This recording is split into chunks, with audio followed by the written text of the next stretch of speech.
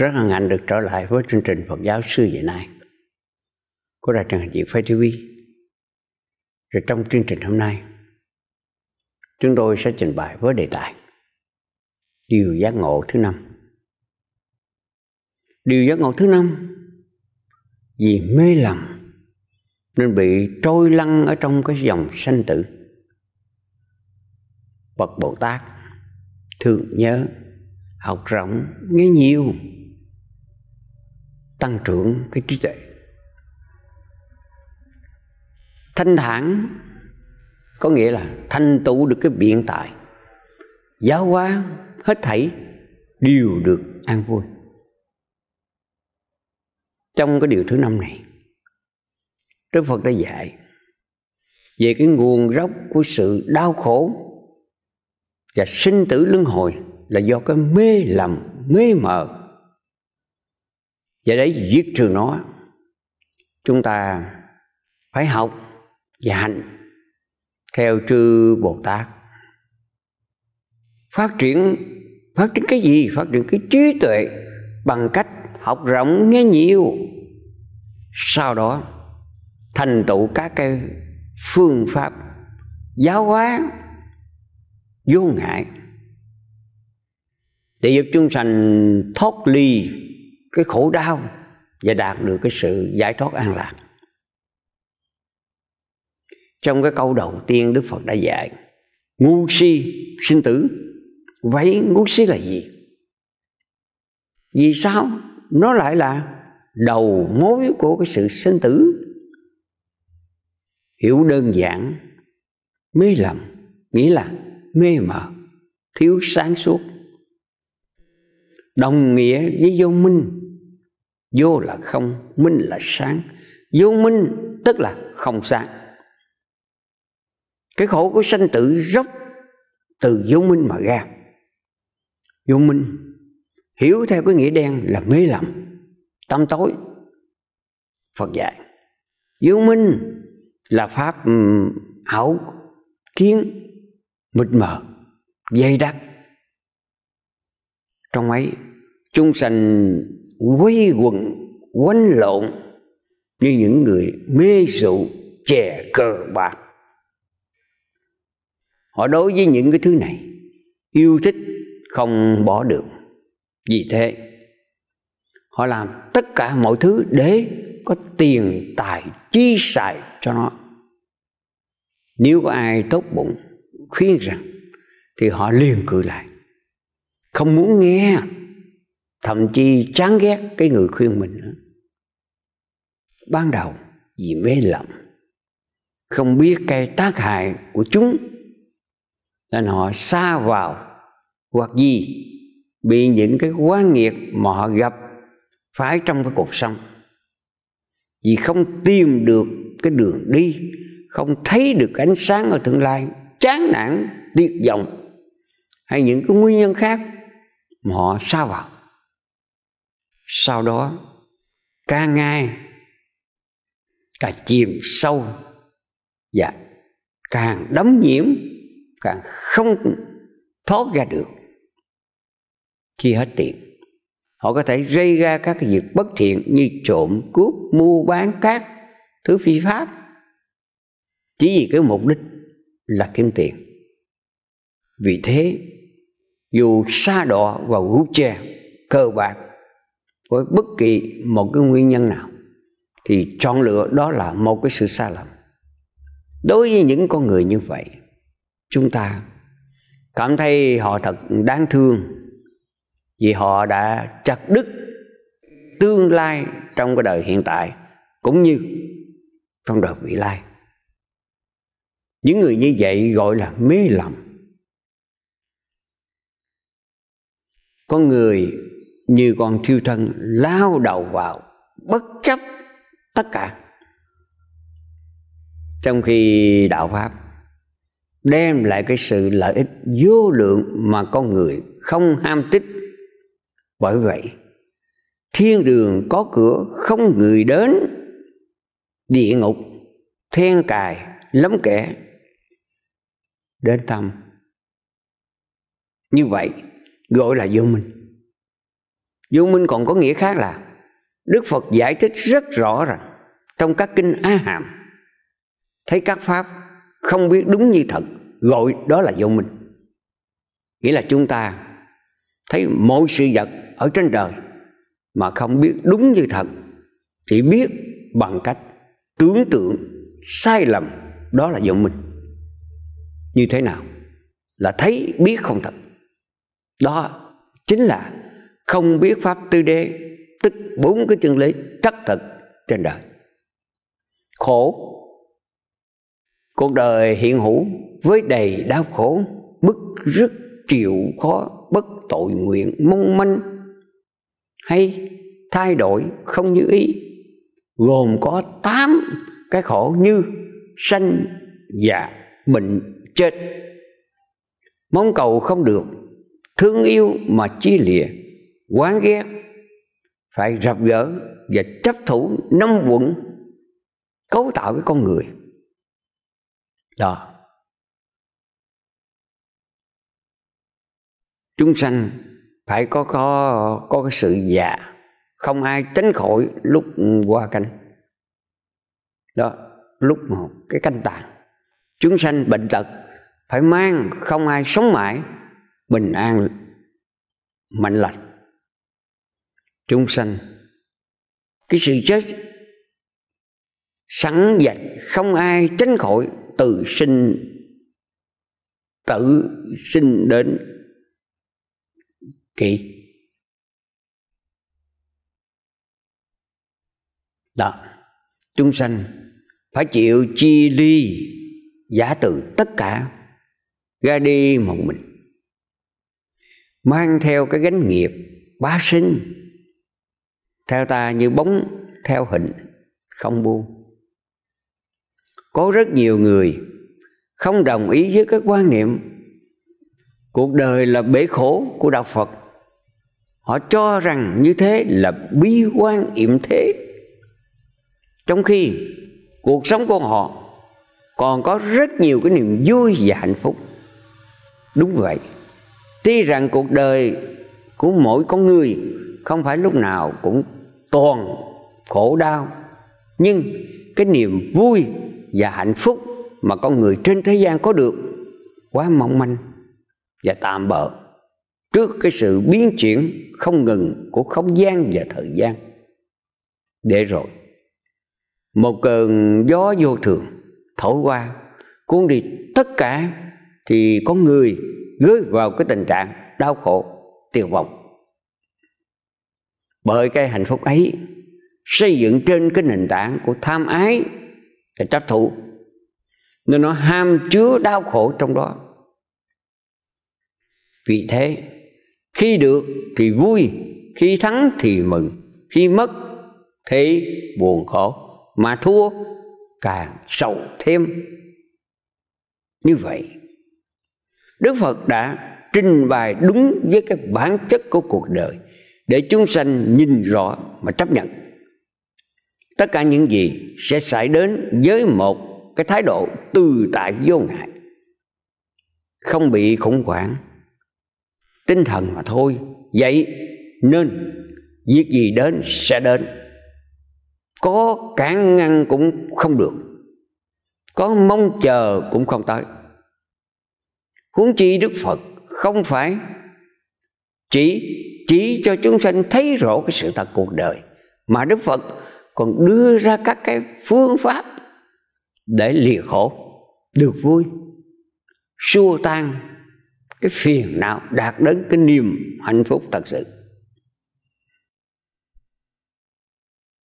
Cái nguyên nhân của khổ đau là do vô minh, tham ái và chấp thú. Phật đã dạy ở trong kinh trung bộ chính ái đưa đến cái tái sinh? Cái câu hữu với hỷ là gia tham. Tìm cầu dục lạc cái chỗ này, chỗ kia. Tham ái bao gồm ái liếng dục dục, ái liếng sinh tồn, ái liếng hư vô.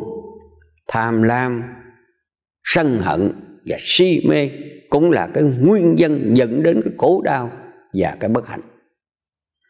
Con tôi tài sản thôi. Người mê sanh u não chúng ta còn không có con đâu, tài sản đâu. Si mê, nên con người khởi lên cái tham liếng và cái ý muốn, cái sở hữu với các cái vật mình ưa thích. Khởi lên cái sân hận, chán ghét, xa lánh đối với các cái vật mình không ưa thích từ đó, nghĩ tới, nói hành động gây tạo các cái nghiệp nhân phục vụ cho tham sân, gây ra cái khổ trong mình và người ở hiện tại và tương lai.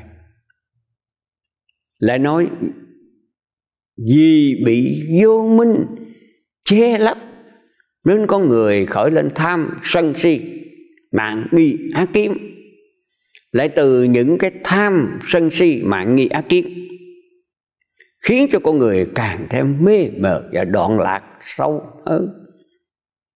Người bị ái ràng buộc, dùng giấy và hoảng sợ. Như thỏ bị xa lưới, chúng sanh ái trói buộc, chịu đau khổ dài dài. Việc cái sự an lạc, giải thoát sau khi rời bỏ tham ái và chấp thủ. Phật dạy trong kinh Nikaya chính là sự đoạn diệt ly tham. Không có cái dư tàn của khát ái, cái sự quăng bỏ, từ bỏ, không có chấp trước, thường được biết đến với cái danh từ niết bàn. Người ta cứ tưởng niết bàn là cái cảnh giới sau khi chết mới được đến. Nhưng theo lời Phật dạy, ở trong các kinh điển thì niết bàn là một từ ngữ dùng để chỉ cái trạng thái an lạc, giải thoát. Sau khi con người không còn đau khổ, không còn bị phiền não, quấy nhiễm, như vậy nó có thể có được ở trong đời này. Ngay kiếp sống này đạo, tức là cái con đường đưa đến cái sự diệt khổ. Cái con đường diệt khổ được đức phật chỉ dạy với rất nhiều các pháp môn. Pháp môn gì? Pháp môn tu. Nhưng chung quy không ngoài cái bát đạo. Và tam vô lậu học.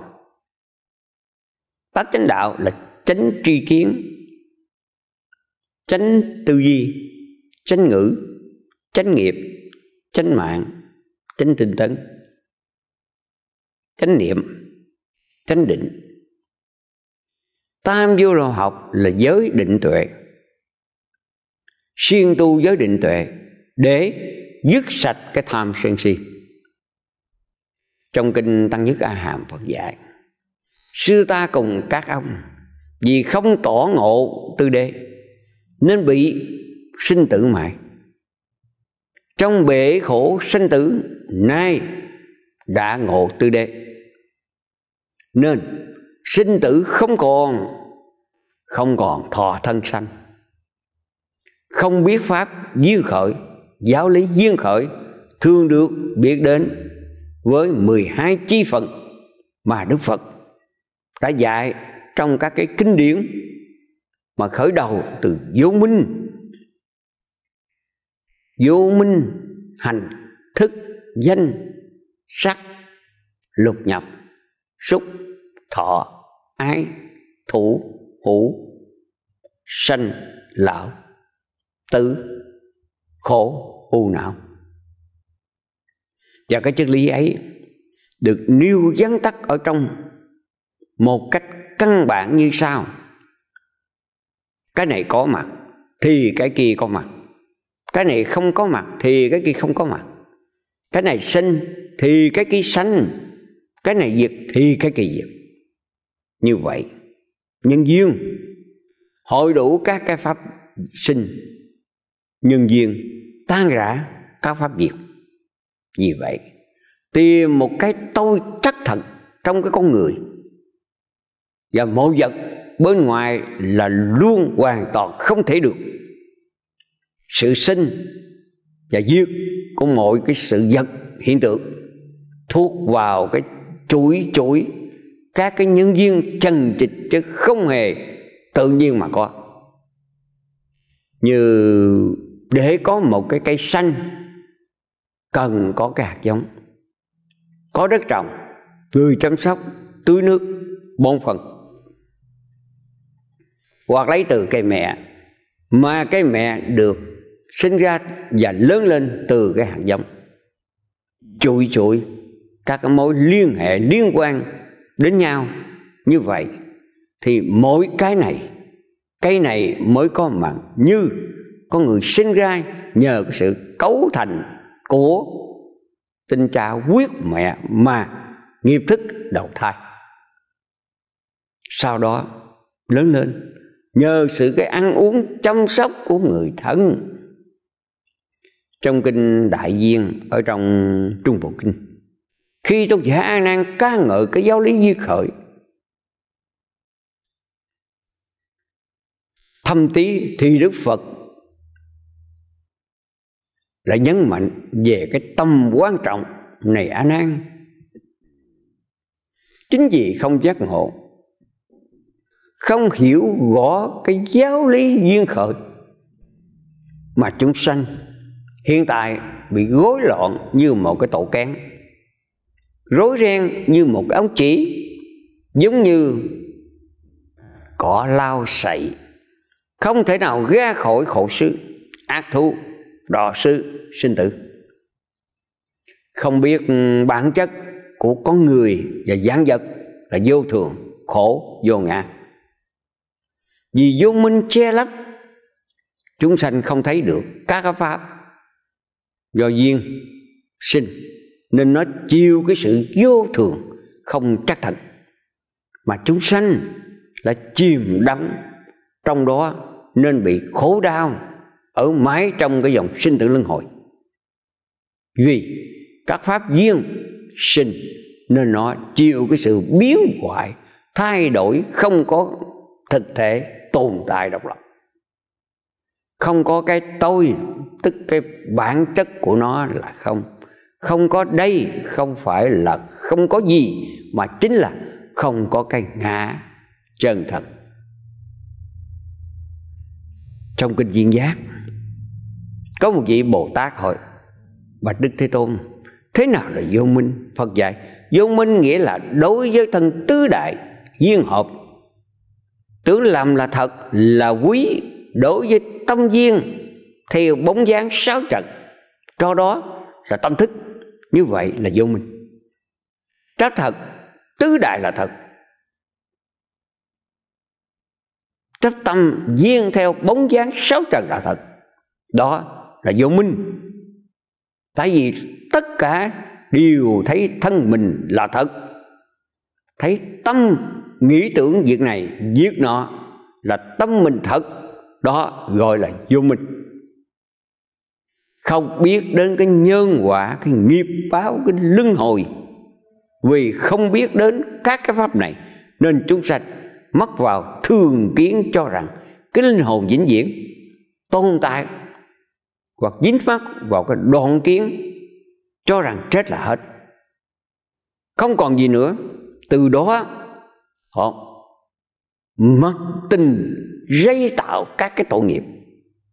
Không hề biết đến cái hậu quả của nó. Tóm lại mê si vô minh là không có nhận thức đúng đắn về cái bản chất của thế giới và cái con người là vô thường vô ngã mà cho chúng là thương hằng hữu. Đó, để rồi khởi lên cái tham lam đối với những thứ ưa thích khởi lên cái sân hận đối với những cái thứ không ưa thích. Rồi chấp thú giữ chặt chìm đắm trong đó. Chính cái nhận thức mê si này mà chúng sanh đau khổ, trôi lăn ở trong dòng sinh tử luân hồi. Còn sinh tử nghĩa là sống chết sống chết ở đây chỉ cho cái sự sống chết trong cái sáu nẻo luân hồi. Tại sao? Si mê lại bị sinh tử. Vì si mê nên mới điên đạo giống tướng. Vọng tưởng là những cái suy nghĩ sai lầm, điên đạo và lộn ngược.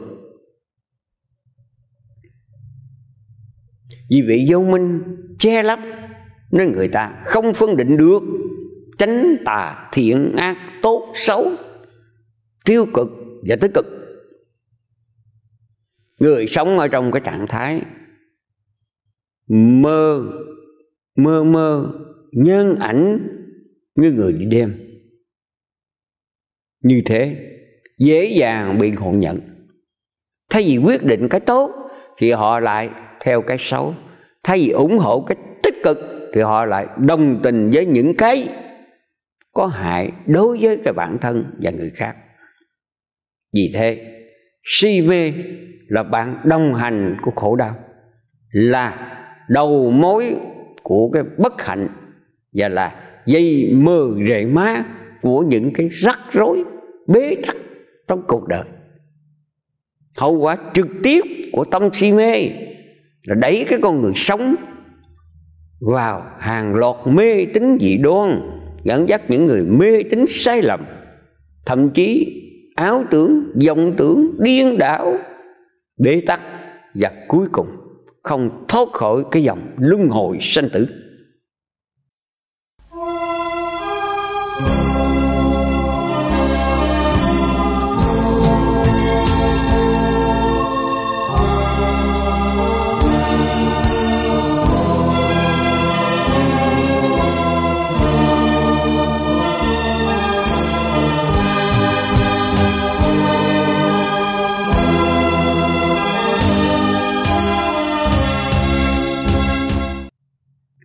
Thế nên, trong bài sám hối phát nguyện có câu, đệ tử chúng con từ vô tỷ gây bao tội ác bởi lầm mê. Đóng trong sanh tử đã bao lần, nay đến trước đại vô thượng giác. Như vậy, vì bị si mê mê mờ nên mới gây ra cái lỗi lầm đi ở trong cái sinh tử để ra khỏi cái dòng sinh tử, trước hết chúng ta phải dán cái màn vô minh, phải dứt trừ được cái si mê.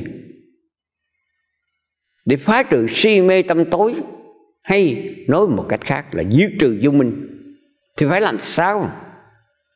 Phật dạy phải phát triển cái trí tuệ. Vì sao? Vì vô minh, sanh vô minh diệt, ánh sáng đến thì bồng tội bị mật. Trong kinh di giáo đức phật. Này các đệ tử, có cái trí tuệ thì không có tham. Luôn luôn tự tỉnh thức và tự dò xét. Nhờ đó người ấy có cái khả năng giải thoát trong giáo pháp của như lai. Trí tuệ là cái chiếc thuyền vững chắc vượt qua cái biến sinh tử, là cái ngọn đèn sáng ngọn đèn sáng chói ở trong cái hắc ám vô minh là cái dược liệu thần y của mọi bệnh tật và là cái lưỡi búa bén chặt đứt cây phiền não. Vì thế, các vị cần trao đổi cái tuệ giác, văn tư tu để tăng trưởng cái lợi ích. Người có cái trí tuệ sôi chiếu thì dẫu là mất gọi là cái con mắt thịt vẫn là người. Danh kiệt thấy rõ cái bản chất mọi vật như vậy, phải làm gì để phát triển cái trí tuệ, cái đức phật? Đức phật dạy tiếp ở trong điều thứ năm này là bậc bồ tát thường nhớ luôn học rộng nghe nhiều để tăng trưởng được cái trí tuệ. Ở đây, đức phật dạy phải quán học đa văn. Tức là rộng nghe nhiều, học rộng nghe nhiều. Quán học là học rộng. Rộng bao gồm, trước nhất là nổi điển, tức là những lời phật dạy được thể hiện qua kinh. Những đạo đức phật dạy quy định ở trong thể hiện qua luật. Những phân tích chuyên sâu được thể hiện qua luận đa văn có nghĩa là nghe nhiều. Ngày xưa, học phải bắt đầu bằng nghe. Lúc đó chưa có chữ viết người ta, chủ yếu truyền đạt kiến thức của mình, thông qua cái sự hướng dẫn bằng lời nói. Như vậy, với cái phương tiện là sự nghe, thể hiện đi sau mới có thể nắm bắt cái tinh hoa kiến thức của thế hệ đi trước trong cái bối cảnh văn hóa thời đức, và việc học duy nhất được thông qua cái sự nghe. Cho nên ta thường thấy ở trong kinh điển những lời dạy của đức phật hay các bậc thánh đệ tử thường lặp lại nhiều lần. Chính là giúp thính chúng ghi nhớ dễ dàng hơn. Ngày nay chúng ta cũng tiếp thu kiến thức từ việc nghe rất nhiều. Nghe từ các vị thầy, các vị giáo thọ, các vị giảng sư, từ các bậc đồng học, đồng tu. Nghe từ băng dĩa, dần dần và dần dần. Từ đó, chúng ta học được những điều hay, những điều đẹp mới lạ, đưa vào cái bộ nhớ, bổ sung vào cái nguồn tri thức của mình việc khuyến khích học rộng nghe nhiều sẽ giúp hàng đệ tử Phật đi sâu vào cái tam tạng thánh điện, giúp họ hiểu rõ lời Phật dạy. Từ đó, có cái niềm tin kiên cố và đúng đắn với chánh pháp và tam bảo. Từ cái sự nghe nhiều và thực hành lời Phật dạy, hàng đệ tử thấy được lợi ích của việc ứng dụng lời dạy của ngài vào cái cuộc sống. Do đó, họ không dễ dàng bị ngoại đạo dụ dỗ, không dễ dàng tin theo mê tín dị đoan, làm những điều sai trái. Đức phật dạy, chúng ta phát triển trí tuệ và hào rộng nghe nhiều. Không ngoài có mục đích là gì? Đoạn trừ chấp trước xa lìa tham ái để chấm dứt cái khổ đau, đạt đến hạnh phúc chân thật trong hiện tại và tương lai. Ví như nhà thơ Vũ Hoàng Trương đã từng than thở rằng, Ta còn để lại gì không? Kìa, non đã lỡ nọ, sông cát bội lang thang từ độ luân hồi, vô minh nẻo trước xa sôi dậm về. Thế nên, chúng ta đem cái kiến thức đã học, đem cái trí tuệ của mình phục vụ cho việc tu tập, điều phục quá nghiệp, chế ngự thân tâm và chuyển qua khổ đau. Chứ không phải để chúng ta nâng cao cái địa vị của mình trong xã hội tăng trưởng cái lòng tự cao tự đại kiêu mạn khinh thường người khác. Đổi lại ta phải dùng cái trí tuệ ấy cái chiếu sôi vào cái gian pháp như trong kinh bát nhã có viết chiếu rõ ngũ quẩn đều không li, liền vượt qua mọi khổ ách. Dùng cái trí tuệ thanh tịnh tu tập quán chiếu hàng ngày đối với các pháp. Tất cả hành vô thường, tất cả hành đau khổ, tất cả pháp vô ngã với cái tuệ quán thấy vậy, đau khổ được nhàm chán. Chính cái con đường thanh tịnh. Nhờ có cái sự tu tập quán chiếu như vậy, ta biết được đường này đến thế gian, đường kia đến niết bàn. Tỳ kheo để tự phật phải ý thức rõ ràng. Đừng đóng say thế lợi, hãy tu hạnh ly tham. Vậy nên học rộng nghe nhiều, mà cần phải chuyên tâm vào các nguồn cái tri thức để để giúp ta bớt cái khổ đau đem lại cái sự an lạc cho tâm hồn. Đem lại nhiều tiện ích cho cuộc sống nhân sinh, xây dựng và phát triển xã hội. Mặt khác, người ta cũng tạo ra rất nhiều cái hình thức giải trí như phim ảnh, ca hát, đáp ứng được những nhu cầu quần chúng.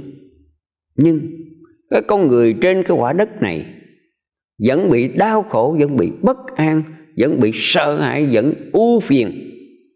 Vì trên thực tế, các hình thức giải trí, các cái tiện ích xã hội, đó chỉ có thể làm cho con người tạm quên đi nỗi khổ niềm đau trong chốc lát, chứ không có lâu dài. Huống chi, cái sự hạnh phúc, mong manh đến rồi đi nhanh chóng chỉ khiến người ta thèm hụt hẳn. Liên tiếp và khổ não. Họ vẫn đau khổ, đơn giản vì họ chưa giải thoát, vì cái trí của họ không có khả năng diệt trừ. Nguyên nhân của khổ đau là tham sân si, không có cái khả năng diệt trừ được cái tham ái và chấp thủ đạo phật nêu cao cái tinh thần từ bi và trí tuệ. Trí tuệ tri nghiệp, lấy cái trí tuệ làm cái sự nghiệp. Đức phật đã dạy rất nhiều lần ở trong kinh điển, cụ thể ở điều thứ, gia cội thứ ba. Trí tuệ trong phật giáo giúp cái con người sinh tồn, xây dựng và phát triển xã hội mà còn đặc biệt hơn cả quý hơn, chính là giúp con người dứt trừ được cái khổ đau, đạt được cái an lạc giải thoát trong hiện tại cũng như trong đời vị lai. Việc tăng trưởng trí tuệ nhờ quán học đa văn như đức phật đã dạy ở trên không ngoài cái mục đích giúp cho bản thân chúng ta nhìn rõ thực tánh của dạng pháp, thấy rõ cái bản chất vô thường, vô ngã và khổ đau của dạng pháp. Từ đó khởi lên cái sự không ưa thích, không tham đắm không nắm giữ, khởi lên cái ý muốn thoát ly và hướng thượng. Nhờ đó đoạn được các cái nhân hữu lậu, khiến cho con người trôi lăn ở trong dòng sinh tử luân hồi. Do vậy, chúng ta phải tinh tấn thực hành lời Phật dạy. Trên đường đạo, không gì bằng tinh tấn, không gì bằng trí tuệ của đời ta sống điêu linh trong kiếp sống ta bà. Chỉ tinh tấn là vượt qua tất cả. Nhờ có cái trí tuệ chiếu soi cái bản thân hành giả được giải thoát khỏi mọi cái đau khổ về ràng buộc do vô minh và tham ái gây ra. Sau đó, hành giả với cái tâm bồ tát đi vào đời để giúp đỡ những chúng sanh khác cũng thoát khỏi cái sự trói buộc của khổ đau như mình. Đức phật đã dạy, tiếp ở trong điều giác ngộ thứ năm, thành tựu biệt tài, giáo hóa tất cả, đều được cái niềm vui lớn. Muốn khiến, có nghĩa là muốn khuyến hóa quần chúng tu tập, giúp chúng sanh lìa khổ được vui. Hành giả cần có các cái phương pháp, quần pháp thích hợp. Trong kinh điển, cũng thường hay nói đến cái biện tài giáo hóa của đức phật, đó là bốn biện tài một là pháp vô ngại, biện tài là thông suốt, không ngần ngại đối với cái ngôn ngữ, cái văn tự trong cái giáo pháp. Hai nghĩa là vô ngại biện tài là cái thông suốt không ngần ngại đối với cái nghĩa lý chứa đựng ở trong giáo pháp. Ba là từ vô ngại biện tài, là cái tinh thông lưu lố đối với các cái ngôn ngữ văn tự. Bốn là cái nhạo thiết vô ngại biệt tài, là có cái trí tuệ về ba loại biệt tài trên nên có thể thuyết pháp một cách an lạc, tự tại, khiến chúng sanh được giác ngộ, hạnh phúc đức phật là bậc toàn giác. Nên ngài có được cái biện tài như vậy. Có thể thuyết phục giáo hóa, đem cái lợi ích cho cái số lượng chúng sanh. Còn chúng ta là những người đệ tử của đức phật. Phải học theo gương hạnh của đức phật. Sau khi học rộng, nghe nhiều, phát triển cái trí tuệ, chúng ta đem những gì đã học, đã hiểu đã tu tập ra để trao truyền cho mọi người, giúp họ đạt được cái sự an lạc, giải thoát ngay trong hiện tại và trong tương lai. Nhưng chúng ta không có đủ có bốn cái biện tài như phật thì phải làm sao? Tặng cho bạn bè, người thân những cái dĩa băng phật pháp, rủ nhau xem một bộ phim phật giáo cùng đi chùa làm công quả, khuyến khích những người bên cạnh. Bộ thí cúng dường, cùng mọi người nghe. Các bản nhạc thiền, hát những bài hát Phật pháp. Những việc làm dù nhỏ, nhưng có thể chuyển qua cái tâm tư của người khác. Khiến họ tìm thấy cái niềm vui và hạnh phúc, tìm thấy được cái đường đi trong cuộc đời như vậy bạn cũng đã thành tựu trong việc quần dương chánh pháp. Hơn nữa, nếu bạn có thể nói lời ái ngữ, bỏ ác làm lành, ăn chay phóng sanh, làm việc phước, ngồi thiền tụng kính niệm phật, rồi khi đối mặt với cái bão tố phong ba của cuộc đời mà vẫn an nhiên từ tại vẫn vững chãi, thanh thản, thì chính bản thân bạn, chính trên cái con người bạn là bài pháp thiết thực nhất, hiệu quả nhất cho người về mọi giá trị mà đạo Phật mang lại.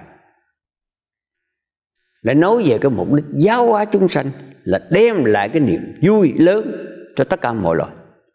Niềm vui lớn ở đây không phải là thỏa mãn cái năm món dục ở thế gian mà là có thể khiến cho tất cả chúng sanh trong ba cõi sáu loại xa lìa cái sự sanh tử, thoát khỏi cái khổ não ở trong ba cõi, chứng được cái niết bàn cứu cánh. Nhưng niết bàn đâu xa, niết bàn ở trong ta, tịnh độ đâu xa, tịnh độ trong ta. Phật dạy, tâm dẫn đầu các pháp tâm làm chủ, tạo tác. Nếu với ý thanh tịnh, an lạc, bước theo sau, như bóng không rời hình. Nếu bạn làm bất cứ việc gì cùng với cái tâm ý thiện lành, thì an lạc, thảnh thơi sẽ đến với bạn. Ngay trong giờ phút ấy, không đợi đâu xa, cũng vậy. Ngay ở trong cái niệm mà chúng ta không có tham không có sân không có si không có chấp thủ, xa lìa khổ đau chính là cái sự giải thoát có mặt hay niết bàn có mặt.